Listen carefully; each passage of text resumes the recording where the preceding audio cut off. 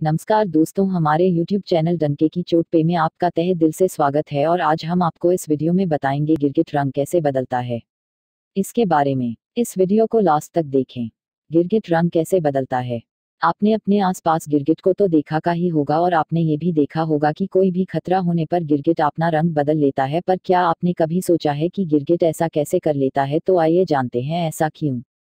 गिरगिट कमेलियंस अपना रंग अपने आसपास के वातावरण के अनुसार बदल लेता है। रंग बदले की यह खूबी गिरगिट को उसके दुश्मनों से बचाने में काम करती है। गिरगिट का रंग बदलना उसकी त्वचा में उपस्थित क्रोमाटोफोरस नाम सेल के कारण होती है। इस सेल को गिरगिट के मस्तिष्क से नियंत्रित किया जाता है, जब मस्तिष्क को खतरा, महस स होता है तो वह खतरा भांपकर कोशिकाओं को फैलने और सिकुड़ने हेतु निर्देशित करता है और क्रोमाटोफोरस सेल अपना आकार बदलते हैं और क्रोमाटोफोरस सेल में भूरे, पीले, काले और सफ़ेद रंग के रंजक होते हैं और इन्हीं रंजकों के कारण गिरगिट का रंग बदल जाता है और यह आसपास के वातावरण में धुल मिल जाता है।